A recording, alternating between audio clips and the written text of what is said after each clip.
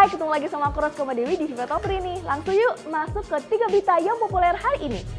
Innalillahi wa innalillahi rajiun. Telah meninggal dunia musisi legendaris Indonesia, Yon Kuswoyo yang meninggal pada hari ini di usianya yang ke-77 tahun. Diketahui, Yon memiliki riwayat penyakit infeksi paru-paru, jantung, dan diabetes. Kus Plus Bersaudara dibentuk pada tahun 1960 pada awalnya terdiri dari John Kuswoyo, Tony Kuswoyo, Yon Kuswoyo, Yok Kuswoyo, dan Nomo Kuswoyo. Namun formasi ini kerap berganti akibat kesibukan masing-masing, hingga akhirnya tersisa Yon Kuswoyo yang masih aktif sampai akhir hayatnya. Rencananya, jenazah almarhum akan dikebumikan pada esok hari di pemakaman Tanah Kusir sambil menunggu salah satu putranya David Kuswoyo yang berada di luar kota. Keluarga besar FIFA mengucapkan bela sungkawa yang sedalam-dalamnya dan semoga keluarga yang ditinggalkan diberikan ketabahan dan semoga karya-karya di Kuspus terus kita kenang selamanya. Amin.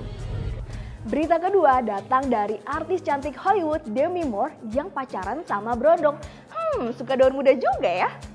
Bukan rahasia lagi kalau Demi Moore suka memilih pria yang lebih muda darinya untuk jadi kekasihnya. Terakhir, artis berusia 55 tahun ini dikabarkan sedang dekat dengan Nick Jonas yang lebih muda 30 tahun darinya. Wow! Ternyata anak Demi sendiri yang nyomblangin ibunya dengan Nick Jonas yang juga memang suka dengan wanita yang lebih tua darinya. Hmm, cocok ya mereka berdua. Meski demikian, bintang Flawless itu ingin agar hubungannya tetap dirahasiakan agar tidak menimbulkan banyak reaksi dari pihak mana pun. Jelang musim 2018, Persib Bandung mendatangkan tiga pemain baru. Wow, selamat ya. Pasti Boboto senang banget nih. Tapi siapa aja ya? Persib Bandung terus bebenah jelang melakoni kompetisi sepanjang 2018 ini. Kini tim berjuluk Maung Bandung tersebut menghadirkan tiga pemain barunya. Yang pertama adalah pemain Korea Selatan In Kyun Ho yang berposisi sebagai gelandang serang. Pada musim lalu, In Kyun bermain untuk Mitra Kukang dan sukses mencetak 9 assist di Liga 1. Selanjutnya ada pemain belakang naturalisasi asal Nigeria, yaitu Victor Igbonevo yang sebelumnya main di Liga Thailand. Nah yang terakhir adalah back asal Serbia yaitu Bojan Malisi.